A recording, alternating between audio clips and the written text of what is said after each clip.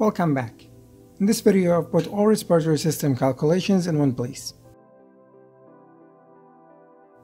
To calculate pulmonary vascular resistance, calculate pulmonary arterial pressure minus capillary wedge pressure on cardiac output.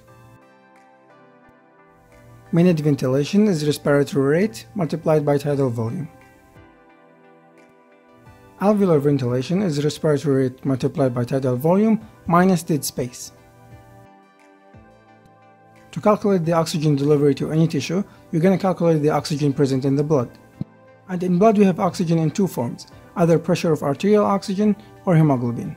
So the equation will go something like this. Pressure of arterial oxygen multiplied by 0.003 plus hemoglobin multiplied by hemoglobin saturation multiplied by 1.34. Dead space is tidal volume multiplied by the pressure of arterial carbon dioxide plus the pressure of expiration carbon dioxide on the pressure of arterial carbon dioxide. To remember, remember this funny mnemonic which is taco paco pico paco.